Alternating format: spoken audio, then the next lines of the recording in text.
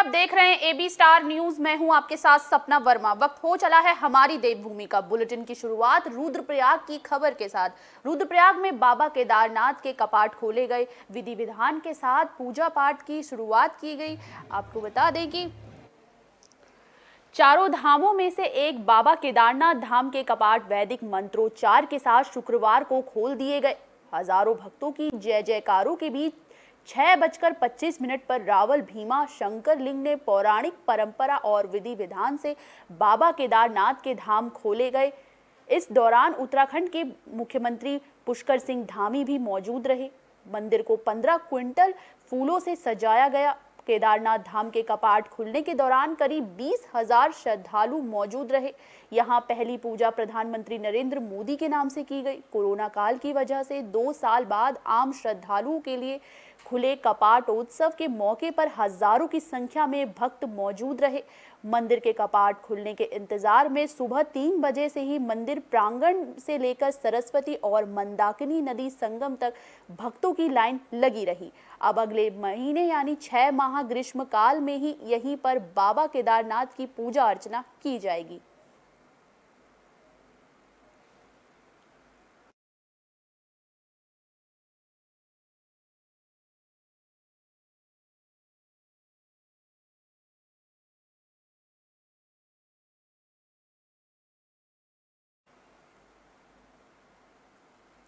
खबर पौड़ी से है। यहाँ पर सूबे के मुख्यमंत्री आपको बता दें कि योगी आदित्यनाथ अपने गाँव में आए हैं। पौड़ी, गढ़वाल के यमकेश्वर विधानसभा, उत्तर प्रदेश के मुख्यमंत्री योगी आदित्यनाथ अपने घर पर, पचूर गाँव में जब हरिद्वार के लिए रवाना हुए, पहले अपनी माँ के हाथों से खीर खाकर फिर उनका आशीर्वाद लिया। फिर हरिद्वार के लिए रवाना हुए यूपी के सीएम योगी आदित्यनाथ का तीन दिवसीय यमकेश्वर दौरा परिजनों, ग्रामीणों और क्षेत्रवासियों के लिए यादगार रहेगा। बृहस्पतिवार को यूपी लौटते हुए योगी आदित्यनाथ ने अपनी माँ सावित्री देवी के हाथों दही चीनी खाई और पैर छूकर आशीर्वाद लिया। फिर हरिद्वार के लिए रवाना हुए। माँ ने भी बेटे को लोक कल्याण के लिए समर्पित होकर काम करने का आशीर्वाद दिया। जाते हुए योगी आदित्यनाथ ने महायोगी गुरु गोरखनाथ महाविद्यालय पहुंचकर शिक्षकों से मुलाकात की। और गुरु अवैधनाथ की प्रतिमा पर पुष्प अर्पित किया। उनके छोटे भाई महेंद्र बिष्ट ने बताया कि उनका कार्यक्रम भले ही व्यक्तिगत था, लेकिन रात साढ़े दस बजे तक उनके ग्रामीणों और क्षेत्रवासियों का मिलने का दौर चलता रहा। योगी आदित्यनाथ सन संन्यास ग्रहण करने के दो से तीन बार ही माँ का हालचाल जानने के लिए गाँव गए थे। यूपी की कमान संभालने के बाद वो पहली बार गाँव आए हैं।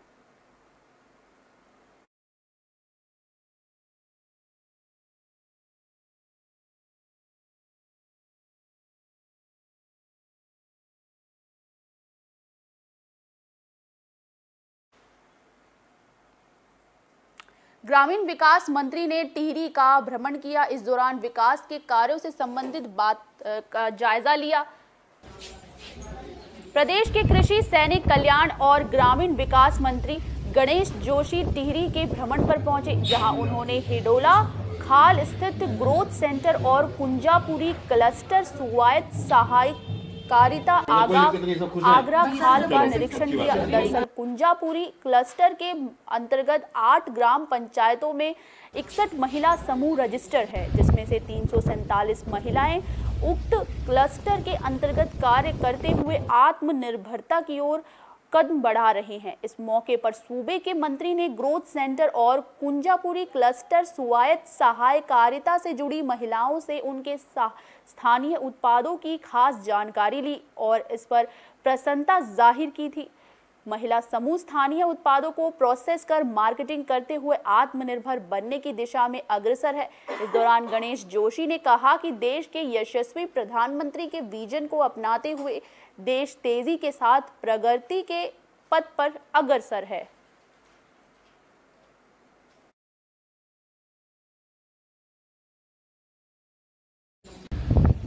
देश के प्रधानमंत्री नरेंद्र मोदी जी आत्मनिर्भर भारत की बात करते हैं।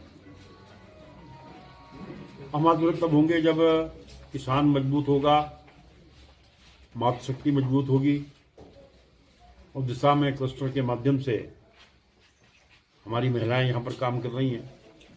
अभी जानकारी मुझे मिली कि तीन सौ पचास से भी महिलाएँ क्लस्टर के माध्यम से इस योजना से जुड़ी हैं और अपने उत्पादों को प्रोसेस करके मार्केट में ला रही हैं। और उनकी आजीविका का एक बहुत बड़ा साधन ही बन गया सहायता समूह का क्लस्टर है माल पंजीकरण क्लस्टर यहाँ पर है जिससे कि पैंसठ के आसपास जो हमारे स्वयं सहायता समूह है वो जुड़े हुए हैं कई विलेज ऑर्गेनाइजेशन जुड़े हुए हैं और बृहद स्तर पर ये अपने उत्पादों को भी पैकेजिंग में इम्प्रूवमेंट करने का प्रयास कर रहे हैं और उसमें हम भी अपने एंड से मशीनों के द्वारा इनको सहयोग दे रहे हैं उसमें माननीय मंत्री जी के आगमन से इनको बहुत प्रोत्साहन मिल है। हमारे इसमें आठ ग्राम संगठन जुड़ी हुई है जिसमें इकसठ समूह है और तीन सौ सैंतालीस महिलाएँ काम करती है। इस इस इस क्लस्टर में हम सात महिलाएँ यहाँ कार्य करती है। आज हमारे बीच ग्रामीण विकास मंत्री श्री गणेश जोशी जी आ चुके हैं, जो हमारे आने वाले काम के लिए हमारे मार्गदर्शन के वो कर रहे हैं, जो हमें अच्छे से बढ़ावा दे रहे हैं और हमें बता रहे हैं कि हम अपने क्लस्टर को कैसे चलाएँ, कैसे चलाएँगे और और ये आगे कैसे बढ़ा सकते हैं। तो यहाँ पे हमारे ग्रोथ सेंटर की बहन है। उनके कार्य उनके कार्य से भी बहुत प्रशंसा हुई सबको। और मैं उनमें ये मैं सोचती हूँ कि वो उनके कार्य के ये हर जिस तरह से कार्य कर रहे हैं, ये इसी तरह से अपना कार्य करते रहे। और इस कार्य से इन महिलाओं को भी रोज़गार मिला है, और उनका रोज़गार भी काफ़ी कांग्रेस प्रदेश अध्यक्ष करण माहरा इन दिनों गढ़वाल के दौरे पर है। इस दौरान उन्होंने बाबा केदारनाथ के कपाट खुलने के वक्त भी वो मौजूद रहे थे। कांग्रेस प्रदेश अध्यक्ष करण माहरा इन दिनों गढ़वाल दौरे पर हैं। बता दें कि आज कांग्रेस प्रदेश अध्यक्ष बाबा केदारनाथ के धाम कपाट खुलने के वक्त मौजूद रहे। साथ ही उन्होंने ट्वीट कर कहा कि बाबा केदारनाथ के अलौकिक दर्शन का सौभाग्य प्राप्त हुआ है। साथ ही साथ सभी श्रद्धालुओं को शुभकामनाएँ दी और देश और प्रदेश की समृद्धि की कामना की। बता दें कि करण माहरा ने केदारनाथ मार्ग पर सरकार की व्यवस्थाओं का जायजा लेने के साथ ही पार्टी कार्यकर्ताओं से मुलाकात करते हुए केदारनाथ धाम तक पहुँचे थे।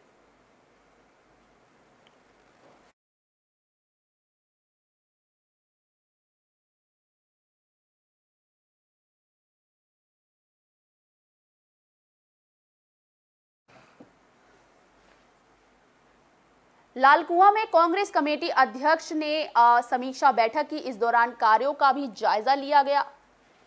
नगर कांग्रेस कमेटी अध्यक्ष सरदार गुरदीप सिंह के कार्यालय पर कांग्रेस पार्टी की चुनाव समीक्षा बैठक आयोजित की गई, जिसमें बतौर पूर्व मुख्यमंत्री और लालकुआं विधानसभा से कांग्रेस पार्टी के प्रत्याशी रहे हरीश रावत पहुँचे। इस दौरान अपने संबोधन में तमाम पदाधिकारी और कार्यकर्ताओं ने जमकर अपनी भड़ास निकाली। और पार्टी आलाकमान पर युवाओं और कार्यकर्ताओं की अनदेखी का आरोप लगाया। वक्ताओं ने यहाँ तक कह दिया कि बाहर से आए मैनेजमेंट की गलत नीतियों और हरीश रावत को आम जनता से दूर रखने के कारण उन्हें हार का सामना करना पड़ा। वहीं कार्यकर्ताओं ने कहा कि कई पदाधिकारी 30 सालों से एक ही दायित्व का निर्माण कर रहे ऐसे में संगठन स्तर पर फेरबदल करके युवाओं और सक्रिय कार्यकर्ताओं को मौका दिया जाना चाहिए। वहीं पूरे मामले पर हरीश रावत ने कहा कि समीक्षा बैठक में लोगों ने जो भी कहा है, वो सही है और उन सभी बातों को ध्यान दिया जाएगा ताकि पार्टी को भविष्य में नुकसान न उठाना पड़े। चंपावत उपचुनाव के मुद्दे पर भी उन्होंने बात करते हुए कहा कि कांग्रेस पार्टी जल्द ही अपने प्रत्याशी का ऐलान करेगी और लोकतंत्र बचाने के लिए चंपावत में कांग्रेस पार्टी वोट मांगेगी। उन्होंने ये भी कहा कि विधानसभा चुनाव लड़ने का उनका कोई इरादा नहीं था, मगर पार्टी आलाकमान ने उन्हें चुनाव लड़वाया और अंतिम समय में जो निर्णय लिए गए वो हमारे पक्ष में नहीं थे। इसीलिए हमें नुकसान उठाना पड़ा।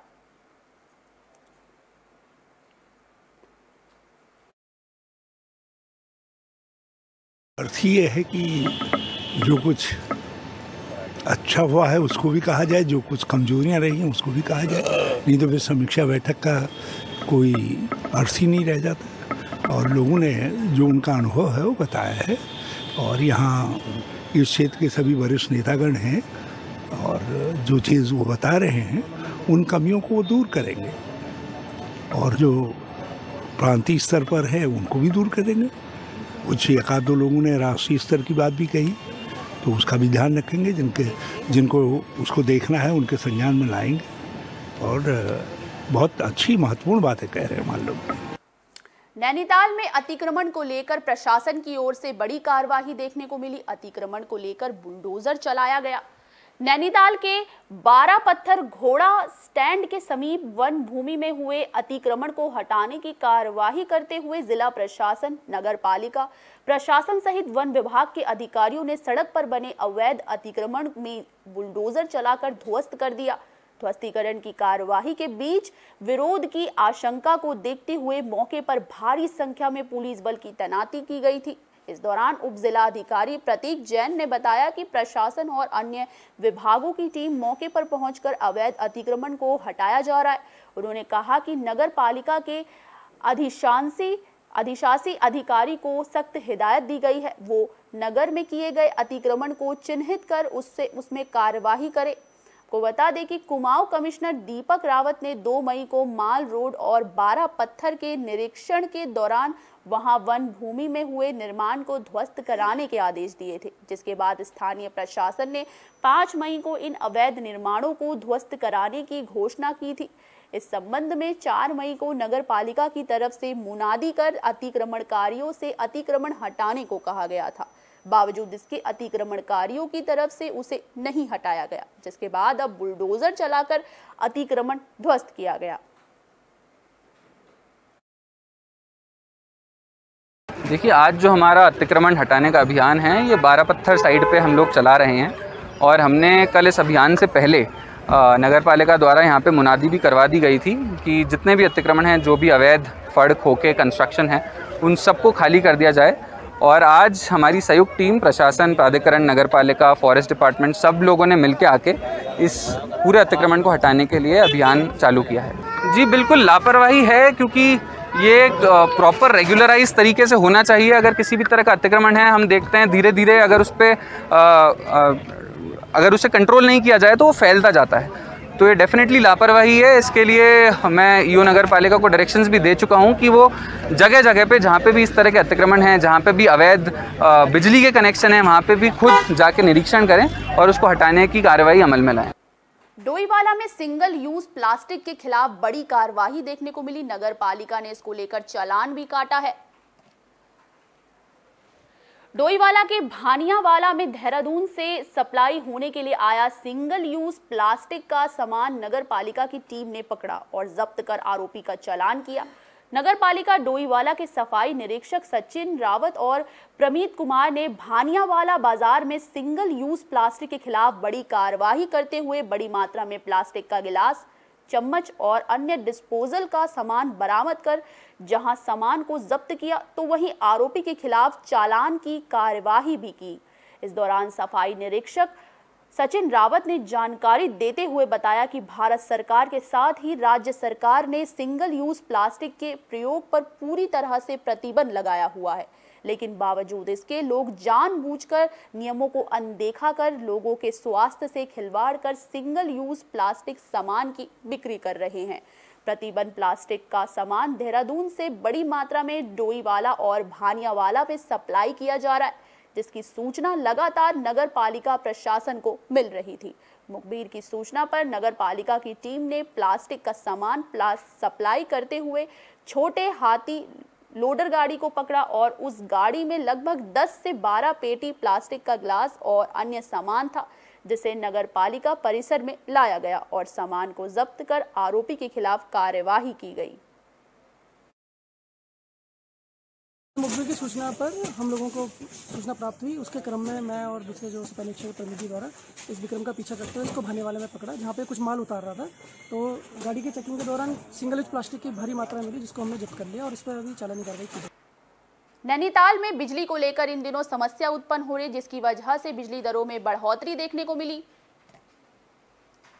उत्तराखंड हाई कोर्ट ने बिजली दरों में बढ़ोतरी के खिलाफ दायर जनहित याचिका पर सुनवाई की। मामले को सुनने के बाद वरिष्ठ न्यायमूर्ति मनोज कुमार तिवारी और न्यायमूर्ति आरसी खुलबे ने खंडपीठ ने Uttarakhand power corporation, Uttarakhand electricity regulatory commission, ministry of power, Uttarakhand सरकार और उत्तराखंड इलेक्ट्रिसिटी बोर्ड को नोटिस जारी कर दो हफ़्ते में जवाब पेश करने को कहा है। आपको बता दें कि देहरादून में आरटीआई क्लब की ओर से जनहित याचिका दायर की गई थी। क्लब की ओर से कहा गया था कि प्रदेश का ऊर्जा महकमा हर साल बिजली दरों में बढ़ोतरी करता रहा है।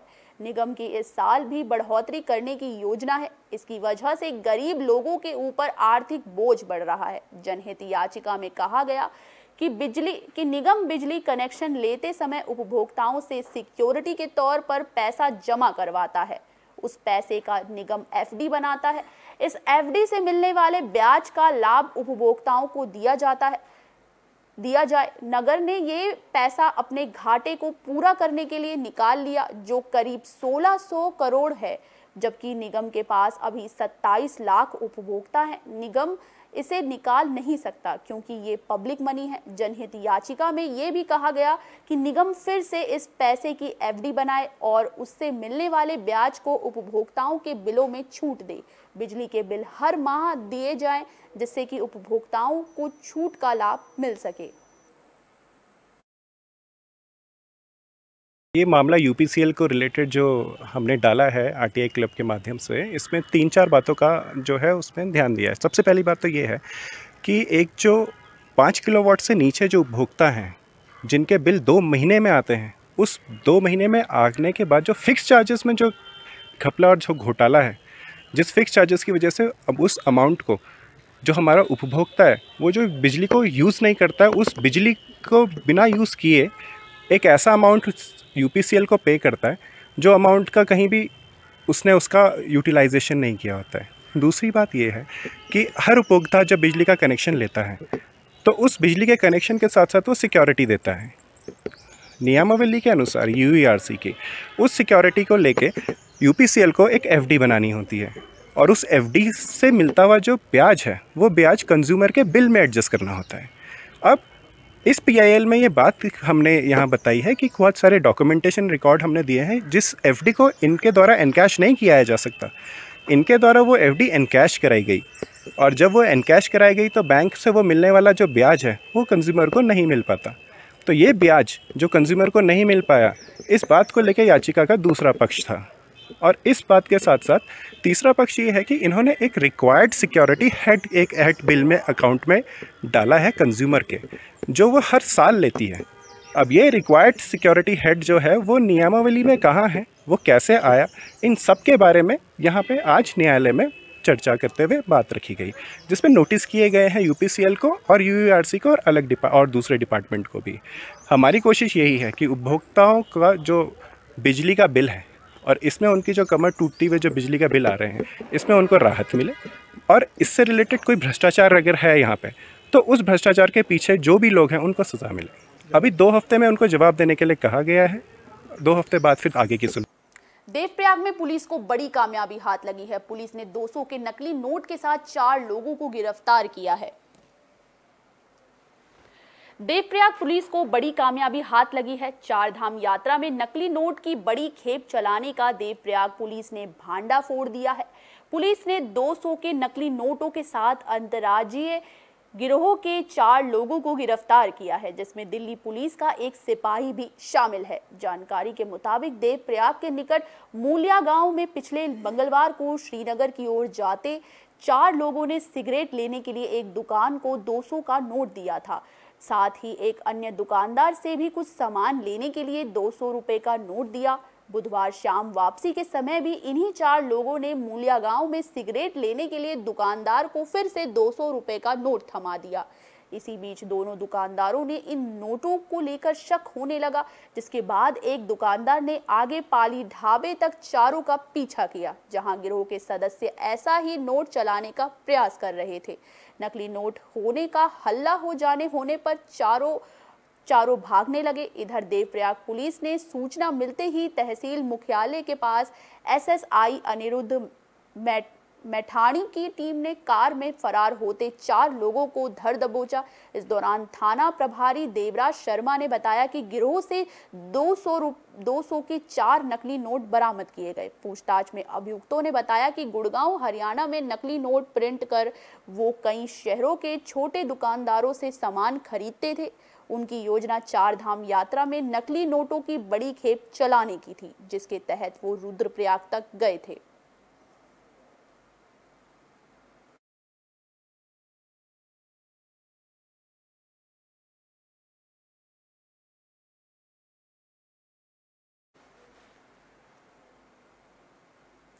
उधम सिंह नगर में आम की फ़सल को नुकसान पहुँच गया। दरअसल आंधी की वजह से ये फ़सल को नुकसान पहुँचा है। उत्तराखंड में गर्मी से बेचैनी महसूस की जा रही है, लेकिन अब मौसम के तेवर बदलने से लोगों को राहत मिली है।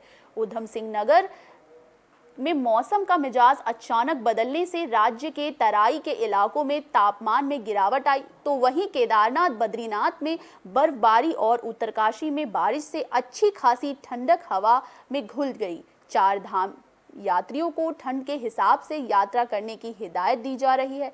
इधर मौसम विभाग का कहना है कि पहाड़ में अभी दो दिनों की गर्मी से राहत मिलेगी। तो वहीं उत्तराखंड के मैदानी क्षेत्रों में काफ़ी लंबे समय से गर्मी ने अपना कहर बरपा रखा है।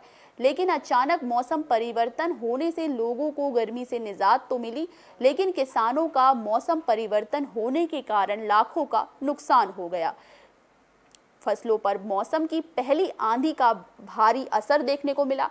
वहीं अगर किसानों की माने तो आम की फ़सल बर्बाद हो गई है। लाखों की लागत लगाने के बावजूद भी फ़सलों को भारी नुकसान हुआ है।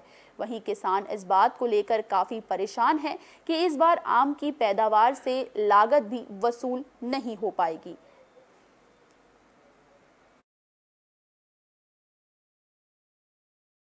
बारह लाख रुपए का नुकसान हुआ है। और क्या बोलते हैं, ये जसपुर में हमारा बाग लगता है। और इस बाग से कम से कम हमारा, अभी तो ये पहली आंधी आई है तो इतना नुकसान है। अभी और आंधी आएँगे तो पता नहीं कितना नुकसान और हो सकता है हमारा। तो इसमें कम से कम समथिंग अस्सी परसेंट था, अस्सी परसेंट में बीस परसेंट गिर चुका है इस टाइम गिर चुका मतलब साठ परसेंट बचा है। अभी पहली आंधी है तो साठ बचा है, अभी और आंधी आएँगे तो पता नहीं कितना और गिरेगा। इसलिए हमारी सरकार से यही अपील है ज़्यादा से ज़्यादा किसानों पर किसान भाइयों पर ध्यान दें।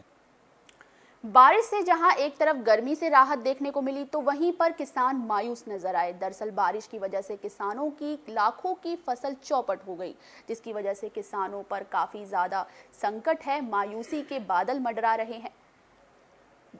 देवभूमि में आज के लिए बस इतना ही। मुझे दीजिए इजाज़त। देश और दुनिया से जुड़ी तमाम खबरों के लिए देखते रहिए एबी स्टार न्यूज़। नमस्कार।